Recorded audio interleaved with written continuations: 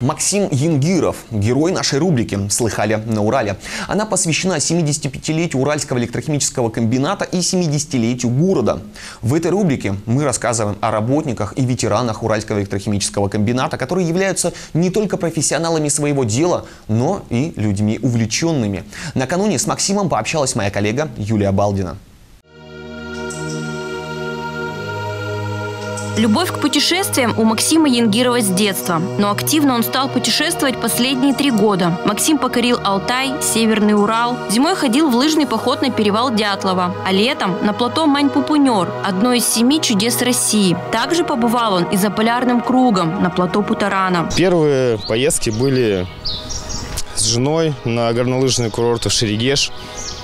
Вот а в 21 году у нас было первое такое многодневное путешествие пешее с большими рюкзаками за спиной на Алтай к подножию горы Белуха. Что вы черпаете в путешествиях? То есть вдохновение, вы отдыхаете, восстанавливаетесь, может какие-то мысли, идеи?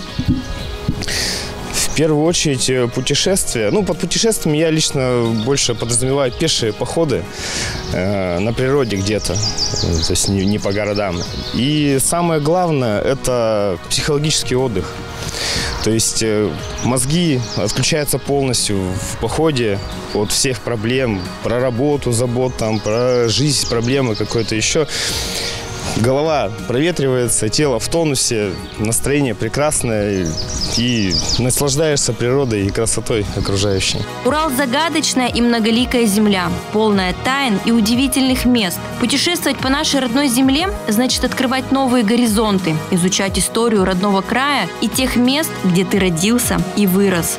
Много своих легенд, начиная от э, демидовских времен, что тут где по нашим даже лесам было, какие тут истории, приключения, божовские сказы, только можно посчитать, сколько там всего интересного и загадочного.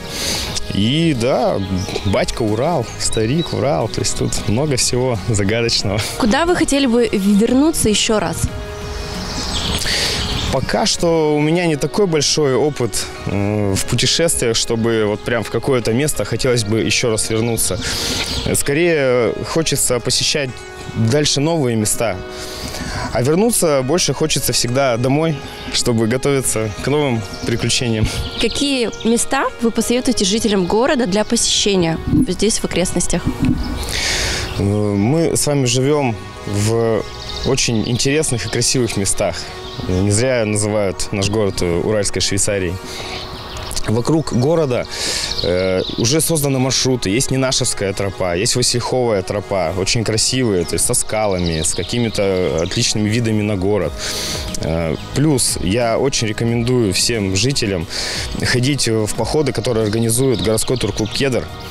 Э, очень много узнаете о истории. Там краеведы рассказывают про историю, про что где происходило.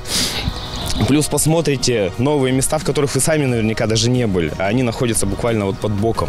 И правда, в удивительном месте мы живем. И как замечательно открывать, казалось бы, в давно знакомом городе новые места и маршруты. Юлия Балдина, Дмитрий Дедюхин, Новоуральская вещательная компания.